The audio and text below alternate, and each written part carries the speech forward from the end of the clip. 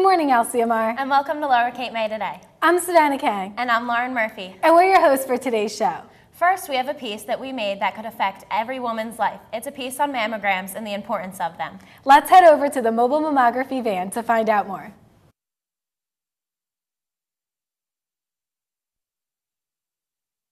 But this is where the patients Okay, come this is the mobile mammography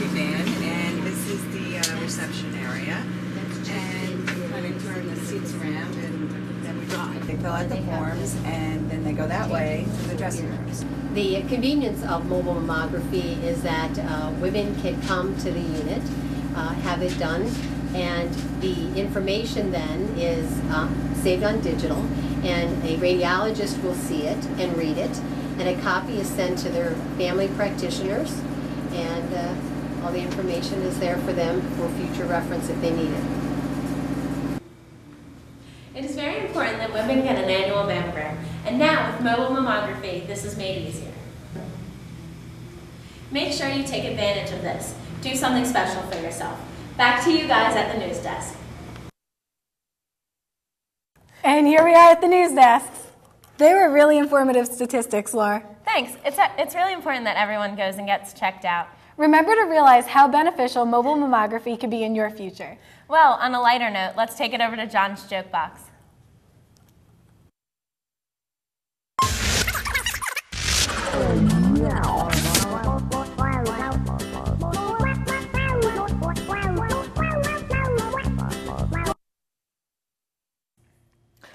Hello, Lower Cape May today. Welcome to John's Joke Box. I'm John McDowell. This is my joke box. And today's joke is about mm, people inviting other people to dinner. Boy, I hope they would invite me to dinner too. My stomach is hurting me. I'm gonna get such a pain. A family was having some people at dinner. At the table, the mother turned to her six year old daughter and said, Dear, would you like to say the blessing? I wouldn't know what to say, replied the little girl shyly. Just say what you hear mommy say, sweetie, said the woman.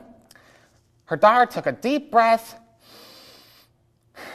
bowed her head, and said, Oh, dear Lord, why the heck did I invite all these people to dinner?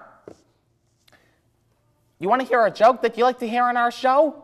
Simple. Just write a joke on a piece of paper and then sign it with your name and class and then put it in the joke box. We've located it in the main office. And if it's funny, sort of, not really, or not, then we'll put it in John's joke box here on this piece. Back to you, Savannah.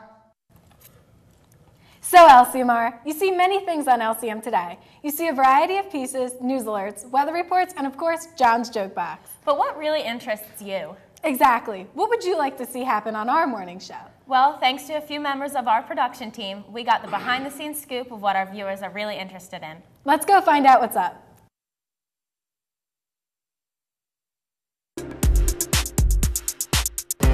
A big show, uh, I would like to see some more serious stuff, you know, not so much as funny.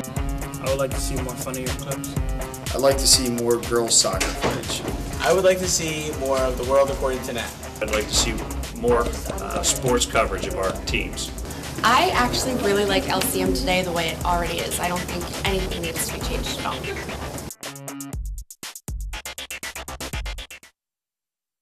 Hey, Savannah, you know what I would really like to see? What's that? More of the accomplishments that people make around our school. Well, then I have the most perfect piece for you. Really? What's that? Mrs. Eakin. She didn't only receive one accomplishment award, but two.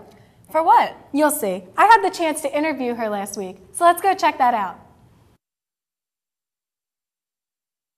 Hello, LCMR. I'm Savannah Kang, and sitting beside me here today is Mrs. Eakin. For those who do not know her, here's your chance.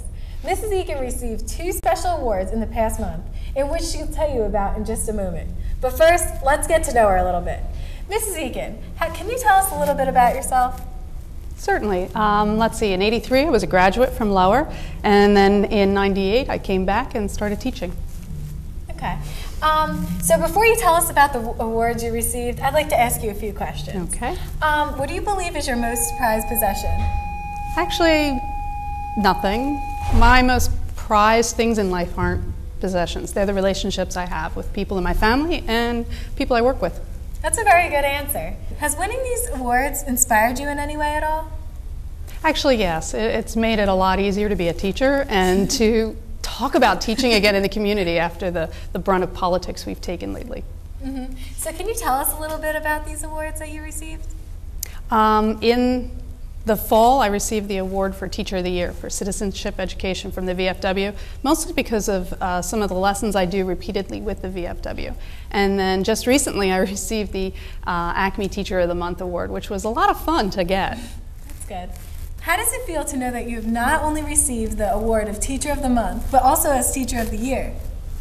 It's pretty amazing. Like I said, we've taken a brunt in politics lately, so it's nice to be awarded something that's positive. Qualities do you feel that you possess that enabled you to earn this award? Probably the fact that I actually teach citizenship continuously. Mm-hmm. Um, it's not one of the tested subjects anymore. You know, we're not math, we're not reading, but it is so important. Just look at today's TV. Look at the way we're going through presidential primaries. Mhm. It's very important. With all of this going on, has your daily perspective of things changed? Yes, actually, things have gotten a lot more positive. Mm-hmm. Well, thank you very much for your time, Mrs. Eakin. Congratulations on your accomplishment award. Thank you. I'm Savannah Kang. Now back to you at the news desk.